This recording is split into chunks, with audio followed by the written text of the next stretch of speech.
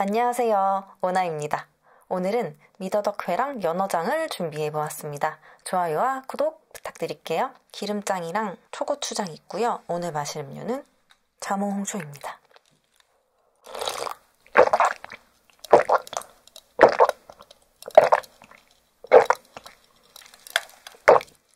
진짜 오랜만에 먹는 미더덕.